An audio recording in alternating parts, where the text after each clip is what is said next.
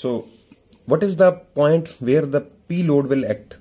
It will act at a distance x from zero point load, zero load point and with it will act at a distance of say we can say that this as x1 at a distance of x1 from this point maximum load point or w load point or w point uh, load point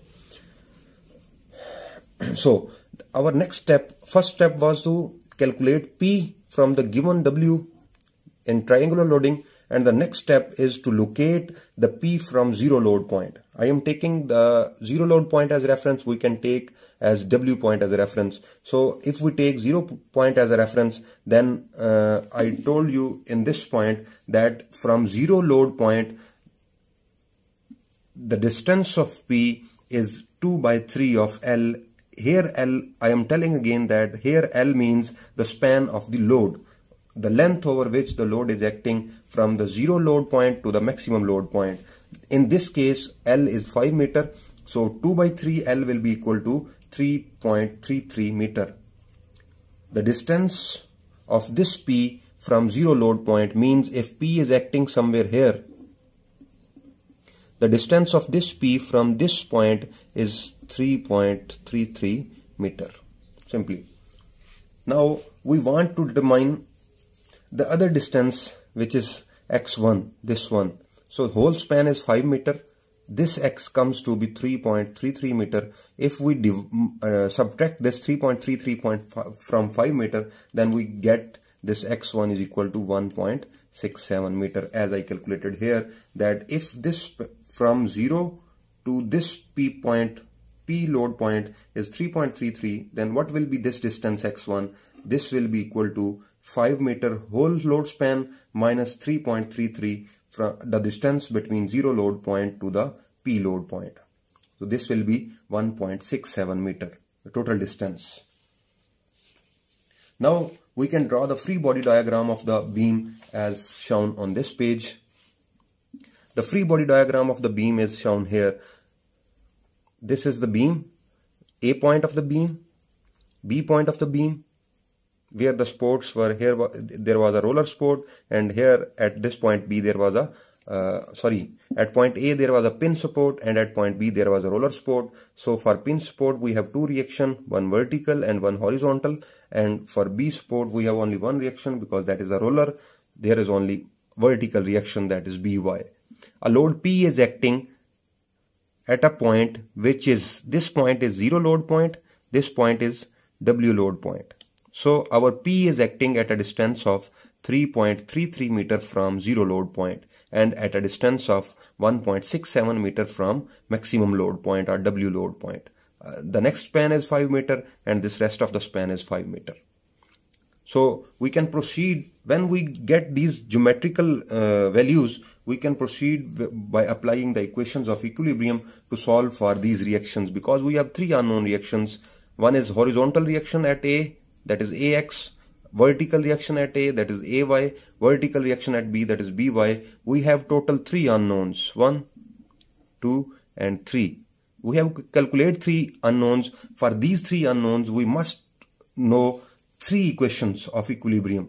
Um, luckily we have three equations of equilibrium that is summation of forces in x in x direction is equal to 0 but we take the convention that rightward x forces are taken as positive. But we considered we assumed in the start of the question or in this free body diagram the leftward so leftward x forces are taken as negative. We can write minus ax is equal to because there is no any other force acting in x direction. So this is the only force and it will be equal to 0 this 0 is transferred here. This is 0 so then ax will be equal to 0 we have determined the first unknown that is ax our next duty is to find ay and by how can we do that? We can do by applying other two remaining equations of equilibrium. The next equation is summation of forces in y-axis is 0 but we will take upward forces as positive.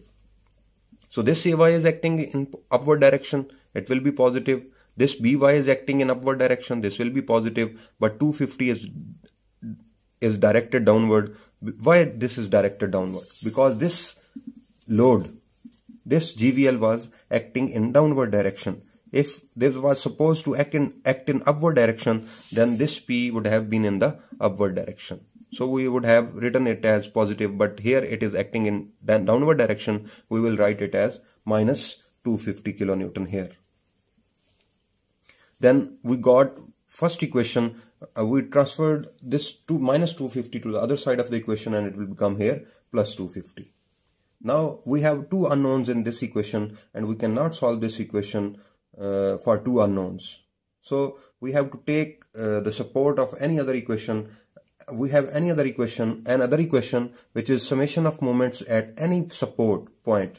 That is a or b equal to 0 i am taking a as a reference. So moment along point a is 0 how many forces are causing moment about a? This ay this ax p and by ay and ax will not cause any moment about point a because they their self are passing through this point. So their moment arm will be 0 their moment moment will be 0 because moment arm affects the moment. Whenever a force is multiplied by the moment arm it gives us moment. So if any force has a moment equal to 0 then its moment moment arm equal to 0 then its moment will be 0 so let's go with the equation that summation of moments about point A is equal to 0 or we can write it as summation of clockwise moments about A equals the summation of counterclockwise moments about point A. So how these force both forces because moment created by these forces is 0 due to their moments arm because their moments arm are 0 so only two forces are rotating this beam about A one is P this is rotating it, it in this direction that is clockwise direction.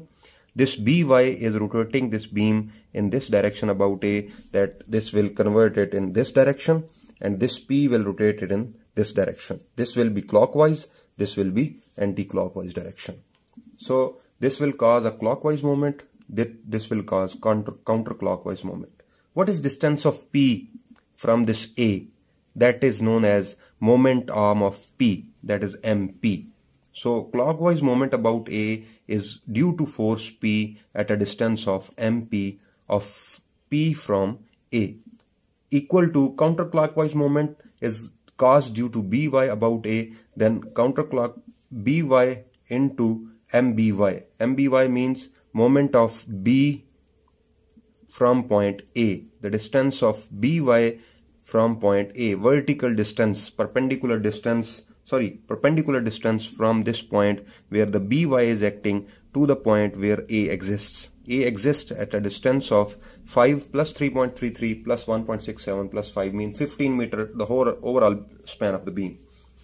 So mp is equal to this 5 meter the distance of p from a is 5 meter plus 3.3 meter that equals 8.33 meters.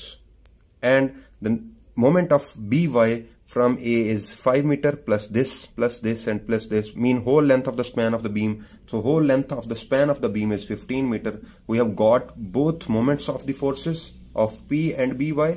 We know P that is equal to 250 and we have to determine By because we don't know By and Ay in this equation. If we determine By we will put value in this and we can get value of Ay. So P is 250 moment of P is MP 8.33, By is unknown and moment of By from point A is 15 meter. So we will rearrange this equation and we found that with the help of calculator By is equal to 138.83 kilonewton. So we will put this value of By in this equation. This value of By will be transferred to this equation like this. Ay plus there was a by we will write 138.83 in this equation in place of b and equal to 250 this 138 will be converted to other side will be transferred to other side with negative sign and ay will be equal to 111.17 triple 1.17 kilonewton. Now we have found ax one reaction. This is done. We have found the by second reaction. This is done and one remaining is ay and we determined it here. We have we had three unknowns and we have calculated all of them. There uh, this doesn't matter that what is your arrangement of finding the reactions. You can apply this moment equation first and then you can apply fy you can apply fy first and then you can apply fx this depends upon your strategy that how you want to solve this question. This question would have been uh, of same length if I apply moment equation before this y equation. So it doesn't matter the uh, that how you arrange the uh, equilibrium equations. The met the original thing that matters is the correction uh, the amount of amount of accuracy which you adopted in your question. So in the final version you will draw the free body diagram of, of the beam but with the actual loading actual GVL was 100 kilonewton per meter. At this point, this load was 0 kilonewton per meter. And this X, AX we found here as 0. This AY we found here as 1 triple 1.17 kilonewton. This is shown here. And this BY is found to be 138.83 kilonewton. Thank you very much guys. Uh, again I request you in this at the last of this video that please subscribe my channel and press the bell icon to get the notifications of my newly uploaded videos. Thank you very much from Zeeshan Akbar.